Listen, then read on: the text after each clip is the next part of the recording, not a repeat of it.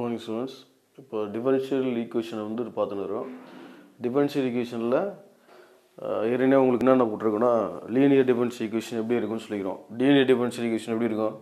DA by dx plus Py equal to Q so இந்த ஃபார்மில் இருக்கும் இல்லையா? அப்புறம் வந்து பெர்னாலிஸ் டிஃபரன்ஷியல் ஈக்குவேஷன் எப்படி கொண்டு வரோம்னா அதே dA by dx plus Py equal to Q into y power n so அது ரெண்டு இம்பார்ட்டன்ட் மாடல் பொறுத்திருக்கோம் இப்போ என்ன போகணும்னா exact differential equation exact differential equation ஒன்று இருக்குது. ஸோ அதோட ஸ்டேட்மெண்ட் ஃபஸ்ட்டு எப்படின்னு பார்ப்போம். ரொம்ப இது இதுவும் இம்பார்ட்டண்டான எக்ஸசைஸு ரைட்டா ஸோ அதனால் இம்பார்ட்டன்ட் இது போனுங்க இது இதுவும் நிறைய கொஷின் கேட்டிருக்காங்க. Exact differential equation exact differential ஈக்குவேஷன்னா ரொம்ப சிம்பிளான விஷயம். ஒரு ஈக்குவேஷன் இருக்கும். அந்த ஸ்டேட்மெண்ட் எப்படி ஈக்குவேஷன் இருக்குன்னா இந்த எக்ஸ் எம் இன்ட்டு டிஎக்ஸு ஒரு ஃபார்முலாவே time எழுதிக்கிங்க statement so the necessary and sufficient condition ரைட்டா இப்போ ஷார்ட்டாக எவ்வளோ போதும்னு நினைக்கிறேன். Necessary and sufficient condition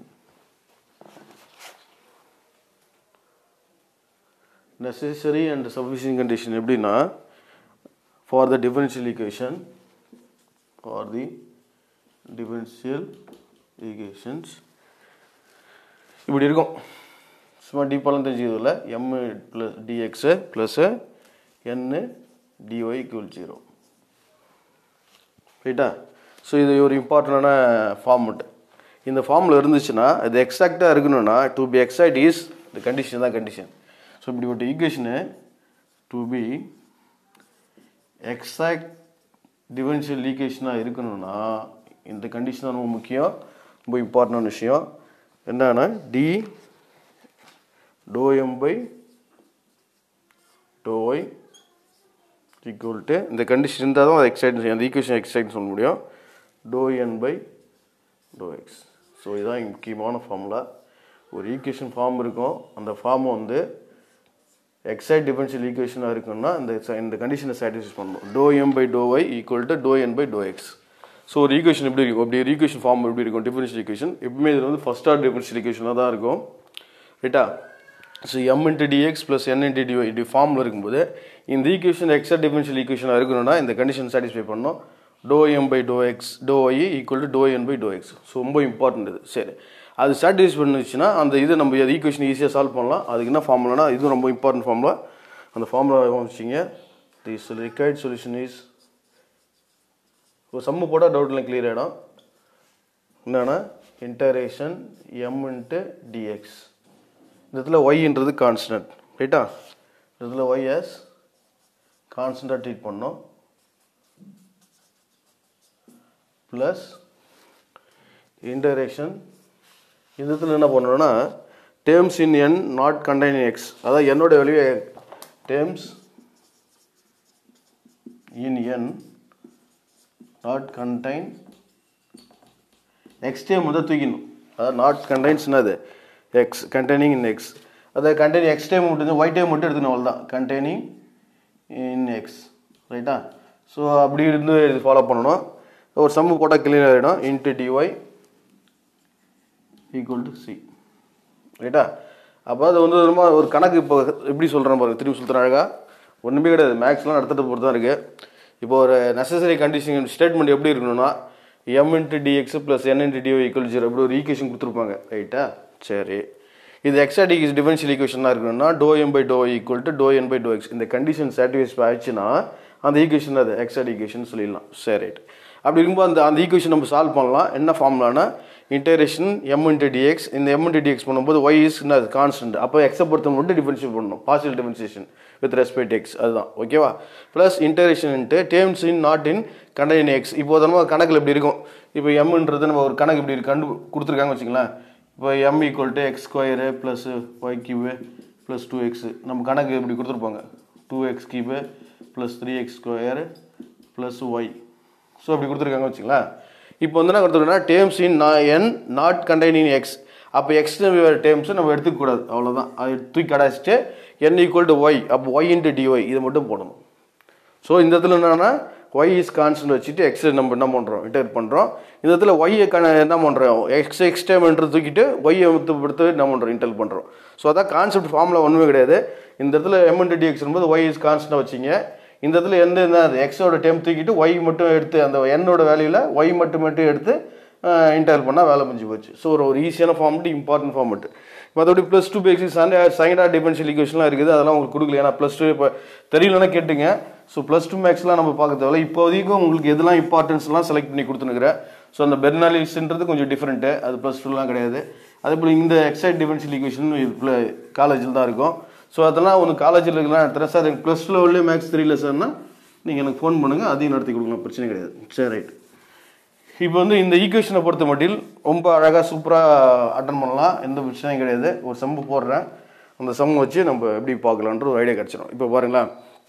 இப்போ அந்த ஃபார்மெட் எப்படி இருக்குன்னா M into dx plus N into dy இப்படி தான் இருக்கும் உங்களுக்கு. ஒரு சம்மு கொடுக்குறோம் தெளிவாக பார்த்தீங்க. ஒரு சம்மு நடத்தணும் அதே மாடலில் இப்போ நான் மெட்டீரியல் ரெடி பண்ணுறதுல ஒரு சம்மு கொடுத்துட்டு ரெண்டு மூணு சம்மு கொடுத்துட்டு அதே மாதிரி உங்களுக்கு ஒர்க் அவுட் பண்ண சொல்லி ஒரு கிட்டத்தட்ட ஒரு பத்து சம் கொடுத்துருங்க. மெட்டீரியல் பக்காவாக ஸோ அதை நீங்கள் அழகான முறையில் ஃபாலோ பண்ணீங்க. இப்போ ஒரு சம் போடுவோம்.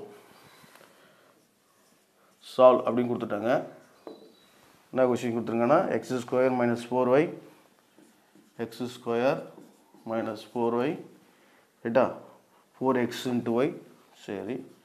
Minus two y square into dx plus அப்புறம் என்ன இருக்குன்னா y square minus four y minus minus two x square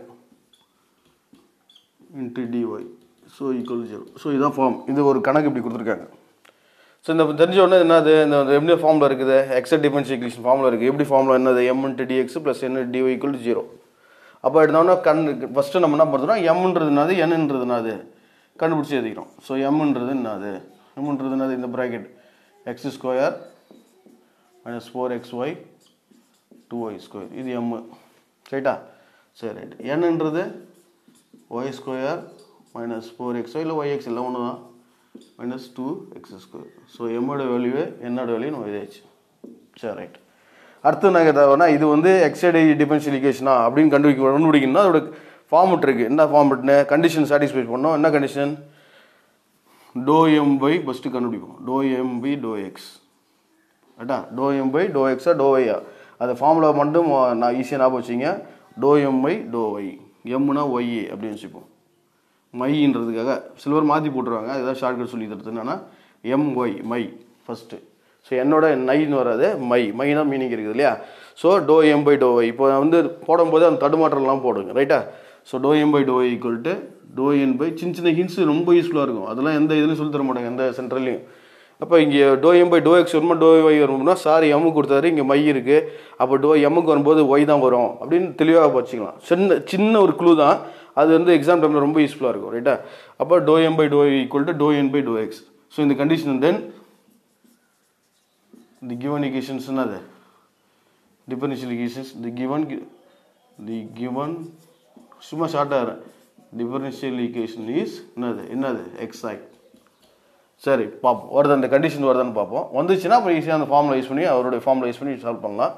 so என்ன இப்போ என்னென்னா doe M by doe y doe M by doe N doe M கண்டுபிடிக்கணும் M என்ன அர்த்தம்? Donna தெரியும் இல்லையா? ஒய்யை பொறுத்து டிஃபரன்ஷிப் பண்ணோம். இது ஒய்யை பொறுத்து டிஃபரன்ஷிப் ஒய்க்கு இல்லை. அப்போ ஜீரோ ஆகிடும் இது ஒய்யை பொறுத்து டிஃபரன்ஷிப் பண்ணால் ஒய் ஒன்று ஆகிடும் அப்போ மற்ற டைம் அப்படியே இருக்கும். மைனஸ் ஃபோர் எக்ஸ் ஸோ இதை ஒய் பொறுத்து டிஃபரன்ஷிப் பண்ணும்போது பவர் மல்டியில் பண்ணோம். Two into two four y ரைட்டா இது என்னது doe M by doe y அடுத்தது doe N by doe x doe N by doe x எக்ஸை பொறுத்து டிஃபரன்ஷிப் பண்ணுறோம் இப்போ இது எக்ஸை பொறுத்து டிஃபரன்ஷிப் பண்ணும்போது பார்ஷியல் டிபென்ஷன் பண்ணும்போது எக்ஸ் இல்லை அப்போ ஜீரோ ஆகிடும் இது எக்ஸை பொறுத்து டிபென்ஷன் பண்ணும்போது எக்ஸ் ஒன் ஆகிடும் அப்போ மைனஸ் ஃபோர் ஒய் ஸோ இது எக்ஸை பொறுத்து டிஃபரன்ஷிப் பண்ணும்போது two into two minus four x so இப்போ ரெண்டுமே என்ன எப்படி இருக்குது? ஈக்குவலாக இருக்குது. அப்போ இது அது given use exact exact differential equation exact differential equation so ரெண்டுமே ஈக்குவலாக இருந்ததுனால ஈக்குவேஷன் நம்பர் ஒன்று இவ்வளோ ஸ்டெப்லாம் போகிறதில்ல உங்களுக்கு புரிய வைக்கிறதுக்காக ப்ராப்பராக போகிற அந்த ஈக்குவேஷன் ஒன்று ரெண்டுலாம். உங்களுக்கு வேண்டி ஒன் மாதிரி தானே.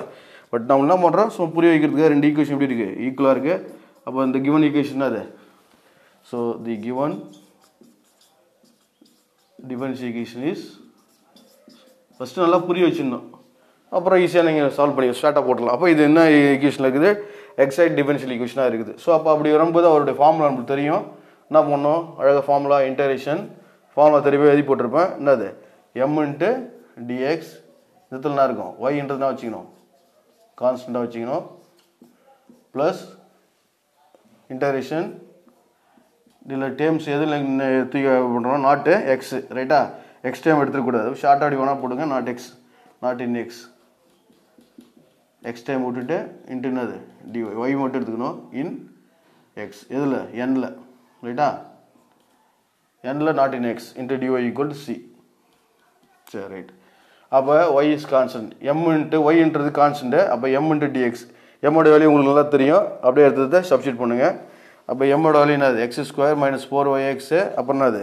டூ ஒய் ஸ்கொயர் இதான் உங்களுக்கு கண்டிஷனு ஸோ அதை நீங்கள் எடுத்து அப்ளை பண்ணும்போது இன்டரேஷன் எம்மோட வேல்யூ அப்படியே தூக்கி போடுங்க. எம்மோட வேல்யூ என்ன வரும் x square minus four y x minus two y square into dx plus integration x வந்து இதில் வந்து என்னோட வேல்யூவில் எக்ஸோட வேல்யூ எடுத்துக்கூடாது அப்போ இங்கேயும் எக்ஸோட வேல்யூ இருக்குது இங்கேயும் எக்ஸோட வேல்யூ இருக்குது ஸோ அதை தூக்கி கடைச்சி மீனாக இருக்குது அந்த வேல்யூ மட்டும் எடுத்துக்கணும். இப்போ மீனாக இருக்குது. ஒய் ஸ்கொயர் மட்டும் இருக்குது. ஸோ எக்ஸோட டைம் இந்த தூக்கி இது எடு வர எடுத்துக்கூடாது இது எடுத்துக்கூடாது நாட் இன் எக்ஸ் எக்ஸோட வேல்யூ இருந்துச்சுன்னா எடுத்துக்காமல் மீதி ரிமைனிங் மட்டும் எடுத்துக்கணும். ஸோ என்னோட வேல்யூ மீதி என்னது? Y square into dy equal to c that's all so நான் ஒய் இஸ் கான்ஸ்டன்ட் பண்ணும்போது அப்போ எக்ஸை போது டிஃபரன்ஷியேட் பண்ணோம் எக்ஸ் ஸ்கொயர் டிஃபரன்ஷியேட் பண்ணா வரும்? இன்டர் பண்ணணும் வரும்? எக்ஸ் கியூப் பை த்ரீ இது ஒய் கான்ஸ்டன்டாக இருக்கிறதுனால ஃபோரு ஒய் அப்படியே வச்சுங்க எக்ஸ் இன்டர் பண்ணால் எக்ஸ் ஸ்கொயர் பை டூ இது வந்து இது ஒய் என்னது? கான்ஸ்டன்ட் கான்ஸ்டன்ட் வந்து எக்ஸை போது டிஃபரன்ஷியேட் பண்ணால் வரும்? டூ ஒய் ஸ்கொயர் அந்த கான்ஸ்டன்ட் வேல்யூ போடணும். இல்லையா? டிஃபரன்ஷியேஷன் அந்த எக்ஸ் வேல்யூ போடணும். எக்ஸை பொறுத்து டிஃபரன்ஷியேட் பண்ணால் எக்ஸை போடுவோம். ஒய்யை பொறுத்து டிஃபரன்ஷியேஷன் ஒய் போடுவோம். ஸோ அதெல்லாம் உங்களுக்கு எல்லாம் தெரியும். இது ஒய் பொறுத்து டிஃபரன்ஷியேட் பண்ணால் y cube by three equal to c that's all இதில் ஏதாவது கஷ்டம் இருக்குதா? ஸோ அப்படியே நீங்கள் சால்வ் பண்ணி போட்டிருக்காங்க. சால்வ் பண்ணி போட்டு அந்த என்ன ஆன்சர்னு பார்ப்போம். இப்போ அப்படியே என்ன பண்ணலாம்? அப்படியே சால்வ் பண்ணுங்கள் இப்போ இதில் என்னென்ன இருக்குது த்ரீ இருக்குது டூ இருக்குது அங்கே த்ரீ இருக்குது ஸோ சிக்ஸ் எல்சிஎம் எடுக்கலாம் எல்லாத்தையும் சிக்ஸ் எல்லாம் மட்டில் பண்ணலாமா? இது சிக்ஸ் எல்லாம் மட்டில் பண்ணனா வரும்? இல்லை எல்சிஎம் எடுத்து போட்டாலும் உங்கள் இஷ்டம். ஸோ சிக்ஸ் வேணால் எல்சிஎம் எடுங்க. சிக்ஸில் எத்தனை த்ரீ இருக்குது டூ இருக்கா? ரைட்டா அப்போ டூ எக்ஸ் கியூபு மைனஸ் இதெல்லாம் அடிச்சிடலாம் இல்லையா? அடிச்சுட்டு கூட என்ன வரும்? டூன்னு போடலாம். ஸோ எப்படி போட்டாலும் ஒன்று தான் உங்களுக்கு இதில் சால்வ் பண்ணுறதுலாம் ரொம்ப சாதாரண விஷயம் நினைக்கிறேன். அப்போ மீதி என்ன வரும்? X cube by three minus two y x square minus two y square x plus y cube by three equal to c ரைட்டா சரி. அப்போ என்ன பண்ணுறோம் த்ரீ எல்சியும் எடுக்கலாம். த்ரீ எல்சியும் எடுக்கலாம் என்ன பண்ணுறேன் த்ரீ எல்லாம் வந்து மட்டிலே பண்ணிக்கலாம். எல்லாம் த்ரீ எல் மட்டில் பண்ணிக்கலாமா?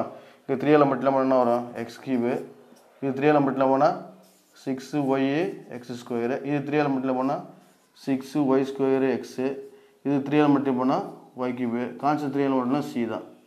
ரைட்டா ஸோ ஆர்டர் பண்ணிங்கன்னா புக் ஆன்சர் என்னவோ? அழகாக தூக்கி எழுதிங்களா ரைட் குட் அப்போ ஆன்சர் என்னன்னா தெளிவாக கரெக்டாக வந்திருக்கு. அதனால் இது வந்து ஒரு விஷயமே ரொம்ப உண்மை கிடையாது. இதே போல் தான் கொடுப்பாங்க. இது வந்து கேட்டிருக்காங்க. அப்புறம் தெளிவாக கொடுத்துருக்கேன். ரெண்டு நிமிஷம் பாட்டோம் நீங்களே தரவாயிடும். ஆர்டர் பண்ணி எதுவும் எக்ஸ் கியூபு அடுத்தது என்னது? ஒய் கியூபு ஏதாச்சும் இங்கேயும் சிக்ஸ் இருக்குது இங்கேயும் சிக்ஸ் இருக்குது x y six x y common எடுத்துலாம் minus six X ஒய்யை ஸோ காம எடுத்துட்டா என்ன வரும்? ஸோ ஒரு எக்ஸ் எடுத்துட்டோம் ஒரு ஒய் எடுத்துட்டோம். அப்போ ஒரே ஒரு எக்ஸ் இருக்கும். அதெல்லாம் இருக்கும்? ப்ளஸ் ஒய் இருக்கும். ரைட்டா ஈக்குவல் டு சி ரைட்டா கான்ஸ்டன்ட் டிஃபரன்ஷியல் பண்ணால் கான்ஸ்டன்ட் வரும்.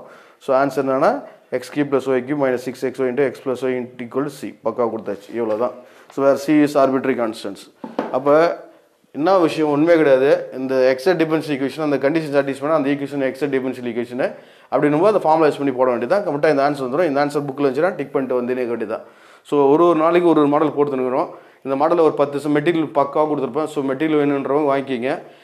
நேரில் கிளா முடிஞ்சளவு கிளாஸ் வந்து படிக்கிற வேலையை பாருங்கள் அப்படி இல்லைன்னா நீங்கள் வந்து ஏதாவது சொல்யூஷன் பண்ணி மெட்டீரியலையோ இல்லை ஏதாவது ஆன்லைன் கிளாஸோ ஜா ஜாயின் பண்ணி படிங்க. இதுக்கப்புறம் விட்டுட்டா ஒன்றும் வாய்ப்பு கிடையாது. ஏன்னா இருக்கிற டைம் ரொம்ப கம்மி கால் ஃபர் வச்சுன்னா பயத்திலே படிக்க மாட்டோம். அதனால் மனசில் படிக்கணும் என்ன வேலை வாங்கணும்னு நினச்சின்னா அடுத்த டக்குனு அடுத்த ஸ்டெப் எடுக்க ஆரம்பிச்சிருங்க. அதுதான் நம்மளை வந்து சேஃப் ரைட்டா? ஸோ நெக்ஸ்ட்டு ஒரு சம்பவம் வச்சு அடுத்த வீடியோவில் பார்ப்போம். ஓகே